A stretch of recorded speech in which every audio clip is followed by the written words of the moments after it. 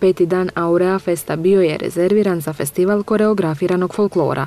Kulturno-umjetnička društva na trgu Svetog Trojstva predstavila su se starogradskim pjesmama i plesovima. Program su otvorili članovi Kuda Požega izvodeći polku, dok je uslijedio nastup Vinkovačkog folklornog ansambla.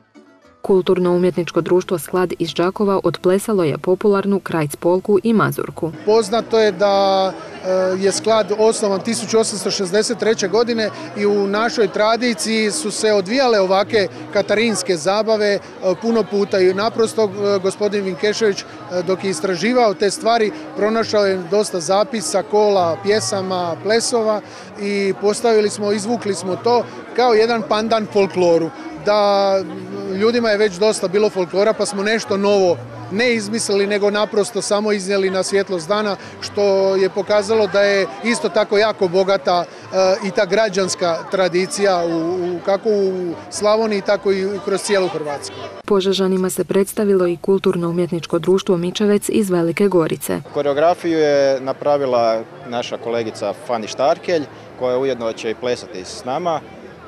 Ona nam je voditeljica, mi smo jedno kulturno-umjetničko društvo koje se bavi već duži vremenskim periodom tim plesovima. Uz to još plešemo ostale vrste plesova, ali ovdje ćemo nastupati samo sa jednom koreografijom.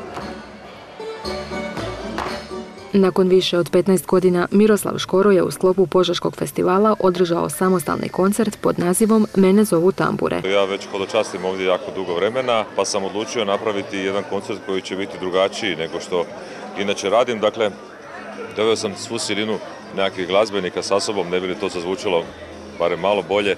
I, ovaj, i radimo to akustičarski, dakle radimo jedan uh, miš-maš ili rekli bi Hrvati crossover između klasične tamburice i onoga što ja radim sada, tako da se nadam da će publika prepoznati da smo htjeli stvarno napraviti jedan posebni glazbeni doživljaj za ljude u Požegi koji sigurno znaju što je dobra glazba. Posljednjeg dana Aurea Festa poznatom glazbeniku bit će uručeno posebno priznanje za 25 godina sudjelovanja na Požeškoj najvećoj manifestaciji. Činjenica je da od mog prvog pojavljivanja u javnosti pa do danas e, ja kontinuirano hodočastim u, u Požegu i evo, hvala Bogu, za sad se to pokazalo dobrim i zasigurno je Požega odredila moj, moj glazbeni život u, u dobrom dijelu.